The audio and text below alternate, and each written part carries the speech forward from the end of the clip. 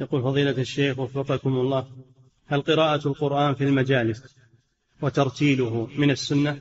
وإذا كان كذلك فهل يعتبر من السنن المهجورة في هذا الزمان؟ تلاوة القرآن فيها خير وفيها بركة في المجالس وغيرها. كان الصحابة إذا اجتمعوا يأمرون من يقرأ عليهم القرآن يستمعون إليه. فهذا عمل طيب هذا عمل طيب. وإذا ترك فلا بأس. ما يقال هذا من السنن المهجورة.